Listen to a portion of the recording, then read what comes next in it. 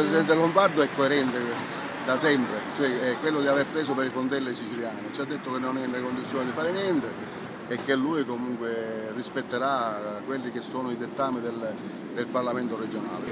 E noi paghiamo l'energia elettrica come, come eh, imprese, come attività produttive a 12, eh, 12 centesimi al kilowattora, il, il concorrente nostro francese li paga a 0,028. Io sfido questi politici, io sfido i migliori economisti che ci sono in circolazione di darmi delle risposte in merito come le nostre aziende possono essere competitive. Noi siamo al fallimento totale ed è vergognoso ancora che stiamo dietro a questa classe politica che non capisce queste cose.